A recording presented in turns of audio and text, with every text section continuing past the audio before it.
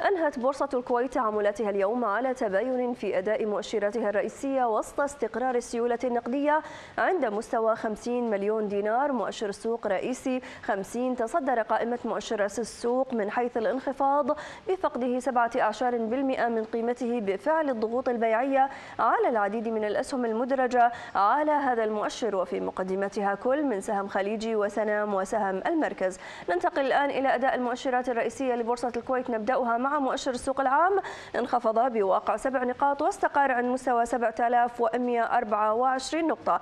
السيولة النقدية كانت 50 مليون ونصف المليون دينار تقريبا بالنسبة لكمية الأسهم 281 ونصف المليون سهم. عدد الصفقات 15055 صفقة.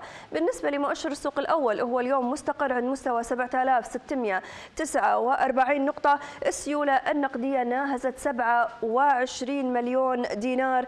كمية الأسهم كانت 96 مليون سهم عدد الصفقات 6092 صفقة. مؤشر السوق الرئيسي 50 كما ذكرنا قبل قليل يتصدر قائمة الانخفاض بواقع 45 نقطة مستقرا عند مستوى 6326 نقطة. السيولة النقدية كانت 14 مليون دينار. كمية الأسهم 106 مليون سهم. عدد الصفقات 4730 صفقة. ومؤشر السوق الرئيسي منخفض اليوم بواقع 37 نقطة مستقر عند مستوى 6439 نقطة. السيولة النقدية كانت تقريبا 24 مليون دينار. كمية الأسهم 185 ونصف المليون سهم. كمية الصفقات 8963 صفقة. شركات الأكثر ارتفاعا اليوم إنوفست على رأس هذه القائمة ب 154 فلس مرتفعة بواقع 8 فلوس سهم. أنظمة 150 فلس مرتفعة بواقع 5 فلوس سهم. السور 245 مرتفعة 8 فلوس أولى للوقود 254 6 فلوس وكامكو 134 ومرتفعة بواقع 3 فلوس. بالنسبة للشركات الأكثر انخفاضا خليجي تأتي على رأس هذه القائمة ب 670 سهم سنام 202 وأسس 103 فلوس سهم المركز 131 فلس نابيسكو 854 فلس. سجلت شركة كفك للاستثمار ربحا خلال الربع الثالث من العام الحالي بقيمة 110280 دينار خلال الثلاث أشهر المنتهية في ختام شهر سبتمبر الماضي مقابل 82970 دينار خسائر.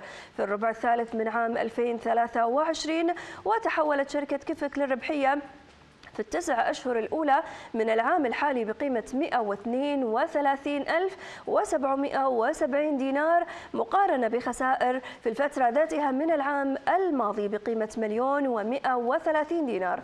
هذا وقد أرجعت الشركة التحول للربحية في التسع أشهر لتحسن أداء أسواق المال وارتفاع إيرادات الاستثمارات وإيرادات من شركات زميلة فضلا عن زيادة إيرادات التمويل.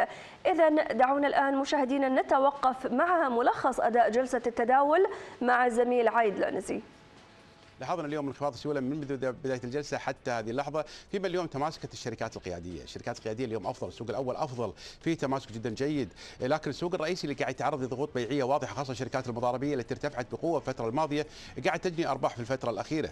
لذلك مشاهدينا الكرام أعتقد إن عملية جني أرباح رغم الظروف الموجودة لكن هي عملية جني أرباح مستحقة على كثير من الشركات اللي ارتفعت بقوة الفترة الماضية.